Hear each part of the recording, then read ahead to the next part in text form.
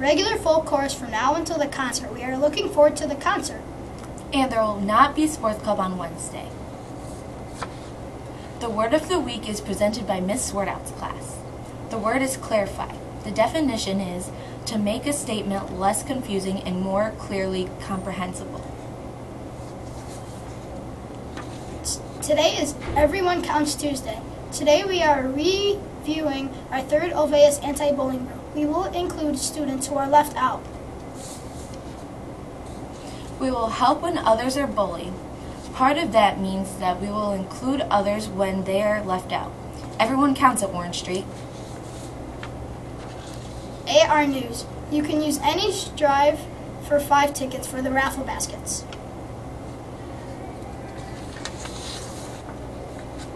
Yeah, just make sure you write your first and last name and your teacher's name on the back of the ticket.